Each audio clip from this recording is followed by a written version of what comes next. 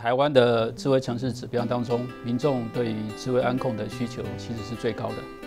那谢市政府自评的分数也是以这一部分最高。那所显示出来的就是说，民众所最重视的，以及政府的施政重点，就是在智慧安控。智慧安控的几个指标项目当中，哈，那警政消防其实是朝向 M 化及智慧化的方向。那以新北市来讲，它有一个科技环卫城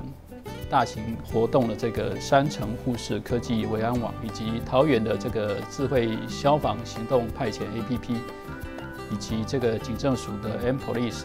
这些都是 M 化的具体案例。一些智慧型的功能也逐渐被导入，例如人脸辨识用在这个行动侦防，例如在大型庆典活动。永渡日月潭、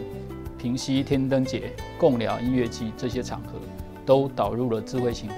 辨识功能。展望未来，随着大数据、人工智慧以及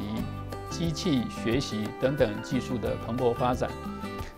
可以想见各种安控领域的智慧辨识与监测的及时性、准确性、全面性，都需要再提升。